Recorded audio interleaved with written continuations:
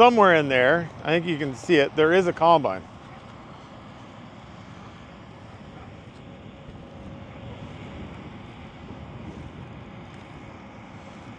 So we're out uh, just around the Curwood area. Uh, we've got the Ideal out here. Um, so seven, class seven with a 40 foot Geringhoff on it. And then we've got two New Hollands, class eights with 45 foot uh, Macdons on them. One is an FD1 and one is an FD2. So just sort of comparing these machines today a little bit. Um, just did a loss check and nobody's throwing anything off the back end. So it's kind of be to be expected with beans and, and these machines. They're pretty good with that sort of stuff. But I'm really interested to see what the flex of these heads, there's some pretty good gullies through here. And it'll be interesting to see what the flex of the heads are like here, uh, comparing those with these guys. So I'll show you as he's coming by. You can already see the flex of that head going down into that gully there now. There's a bit of a ridge there.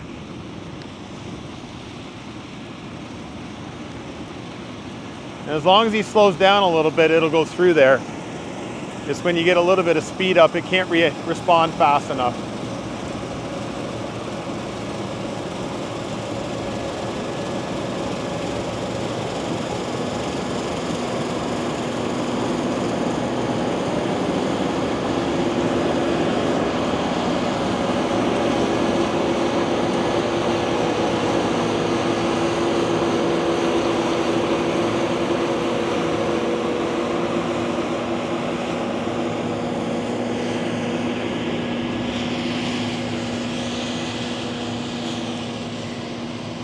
So it shaved down the sides. Obviously left some down the middle, but that's a pretty deep gully down in the middle. And then it got everything down down the side there. Awesome. See the spread pattern from ours. And actually, it was one thing the customer said that he didn't think the spread pattern was as good on the New Holland. These guys are actually uh, a longtime customer of ours. They've got a bunch of Fendt tractors. Um, the buggy tractors come up here. I'm not sure if it's a thousand or a nine. I think it's a thousand. Big singles on it.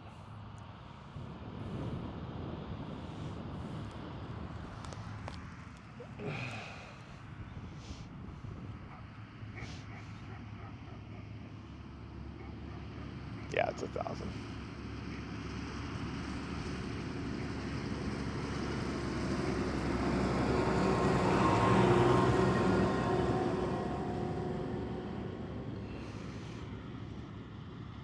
Three combines, he's gonna have his hands full. Sounded like they ended up putting a few more trucks on to try and keep up with uh, with these machines. Um, they were saying that the New Hollands are pushing 20, 21 acres an hour and if we can get up to speed with the, the uh, ideal, uh, we should be fairly close. Might be able to get up to that speed too.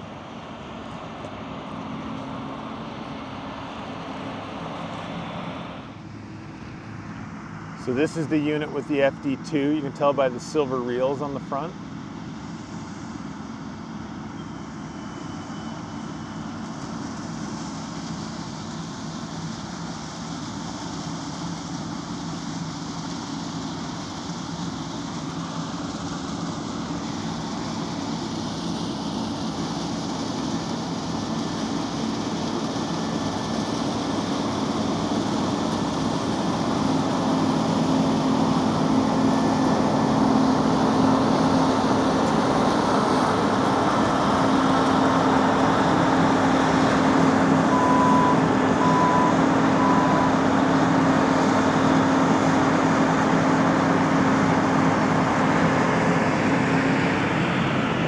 FD1 coming up behind that.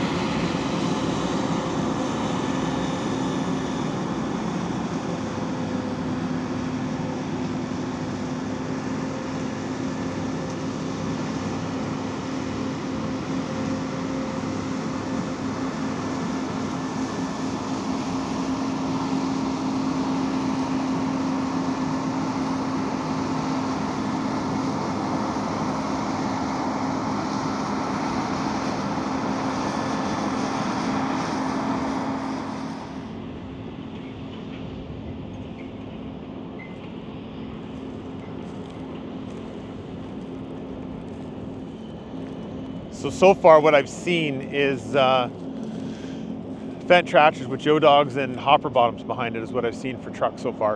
Um, so we'll see if that's what they're doing or if there's uh, any trucks in the mix. So the ideal is a bit ahead of everybody else. So he's gonna make a cut down through the center there, let the buggy get over. And I don't know if you can see, but in behind him, the two New Hollands are half full. So I mean, maybe one thing on this combine that's a little bit different than the other ones is uh, they've got about a three, 330, 340 bushel bin, somewhere in there, maybe a bit more with it being heaped. Uh, the ideal is at 485 is where it's sitting at from a, from a bin capacity.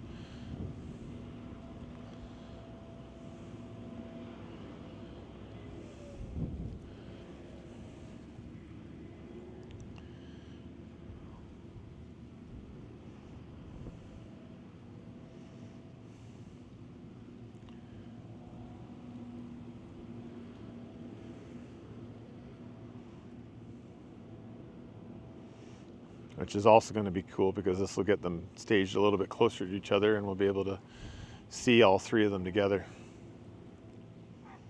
Well, they're just going to go around them.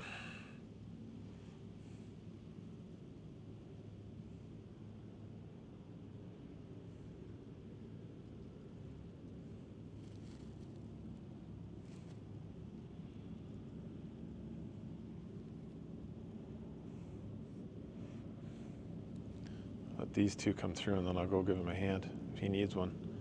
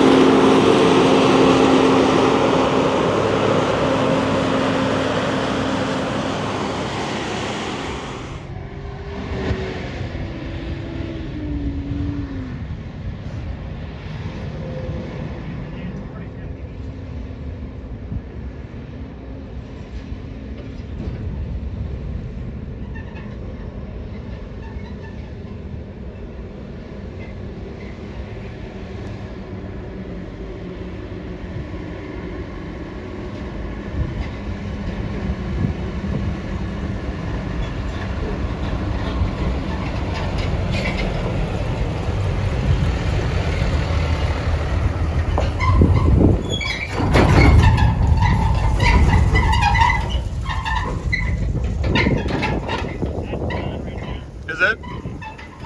And that's and that's what 130 feet at a time looks like. Crazy.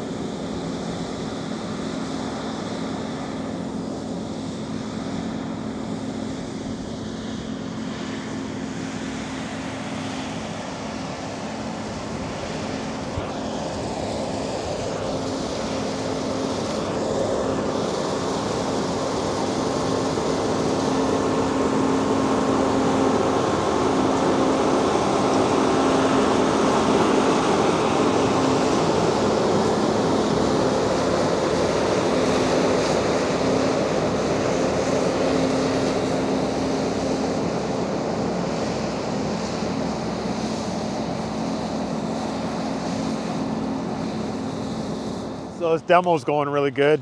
Um, they're kicking some ass here, getting some uh, some ground covered. Um, you can see the dust is absolutely flying from the three of them. Can't hardly even see where they are for the dust. Um, from what I can tell, the smaller Fendt is holding its own against the, the eights. Um, fairly similar in, in acres per hour. Um, customer did say he wished it had a bit more power, but again, for a class seven, that's that's what it is, and it uh, it's holding its own. So um, I'm to let them keep going. They've got another hundred or so acres here between the three of them to cut, and that'll be it for the day for them. And then uh, we're going to a Claas customer tomorrow. Um, I got a 1050 demo in the morning, and then uh, the 7T will go to the Claas customer to run uh, run against their uh, their machine. So. So I'm, I'm having a ton of fun putting this together. I'm, uh, I'm hoping that everyone's enjoying them. Um, if there's any directions you would like me to go that I'm not, um, I think everyone knows that I'm in sales, I'm a product specialist, I'm playing with combines and tractors all the time. If you've got questions, you want to know something that I'm, I haven't shown, uh, throw it down in the comment section. I'm happy to try and explain it or, or do something with it anyways. So with that, uh, I hope you're enjoying the videos. I'm sure having a blast putting them together. And uh, yeah, thanks for watching. We'll see you on the next one.